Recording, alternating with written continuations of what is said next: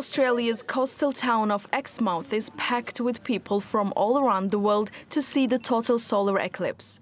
They are called eclipse chasers, and soon they will be thrust into darkness.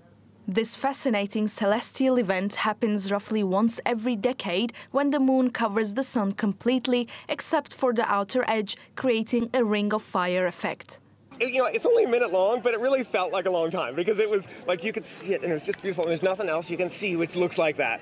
It was, it was, it was just, it was just awesome and spectacular. And then you could also see Jupiter and you could see Mercury.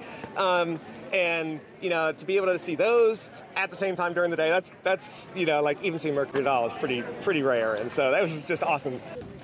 Excited chasers prepared for this rare moment for years, equipped with solar viewing glasses and smartphones. It was an amazing eclipse. So uh, at the start of uh, about 10, 10 a.m., at the start of the eclipse, uh, it was still broad daylight, and then progressively the moon came in front, and by the time it was uh, a few minutes before totality, you just saw a crescent as if the sun was uh, smiling at us.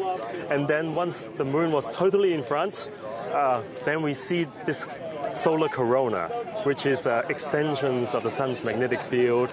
Uh, it is one of the most spectacular eclipses we've seen, and we had perfect weather, perfect location for it. While the darkness lasted only for a minute, many will treasure the memory for a lifetime. Sena Saylan, TRT World.